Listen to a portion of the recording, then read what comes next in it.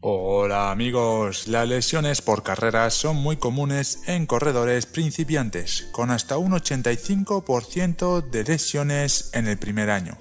Estudios recientes han demostrado que el reentrenamiento de la marcha puede reducir la carga del impacto, el cual se ha asociado con las lesiones. En este vídeo os presento un estudio que demuestra cómo introduciendo pequeños cambios en tu forma de correr puedes evitar completamente las lesiones durante tu primer año. En este estudio se sometieron a una evaluación biomecánica a 320 corredores principiantes, quienes debían correr a 8 y 12 km por hora en una cinta. El grupo de reentrenamiento de la marcha recibió 8 sesiones de reentrenamiento de la marcha durante 4 semanas. Durante cada sesión corrieron en una cinta y vieron comentarios visuales que indicaban su índice de carga. Se les ordenó correr suave para reducir la velocidad de carga y mantener cualquier cambio en la manera de caminar después del entrenamiento el grupo de control recibió la misma cantidad de ejercicio de carrera en cinta, pero sin retroalimentación visual o indicaciones verbales.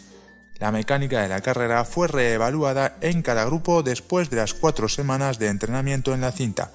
Las lesiones aparecieron al cabo de un año.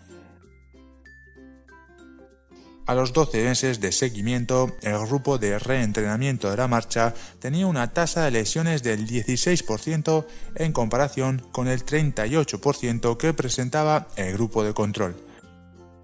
El grupo de control tuvo más dolor de rodilla y fascitis plantar, mientras que el grupo de reentrenamiento a la marcha experimentó más tendinitis de Aquiles y distensiones de la pantorrilla. Correr es una causa frecuente de dolor crónico en la rodilla, la parte inferior de la pierna y el pie.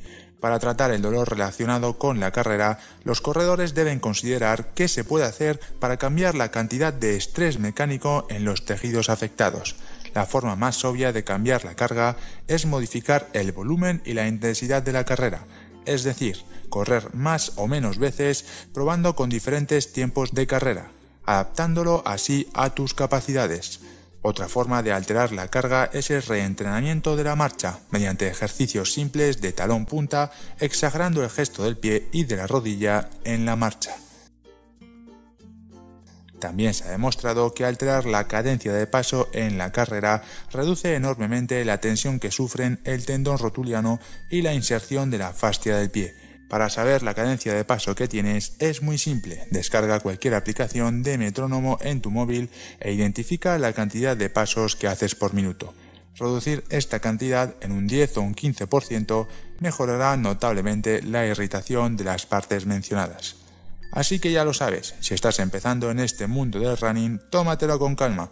Prácticamente todos los corredores novatos seleccionan durante el primer año aplica los consejos y encuentra una combinación de intensidad y volumen que se adapte a tus posibilidades.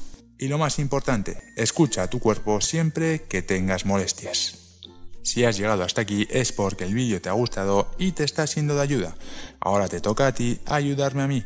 Comparte el vídeo en tus redes sociales y permite que estos consejos lleguen a todas las personas que te importan. Un saludo y hasta el próximo vídeo.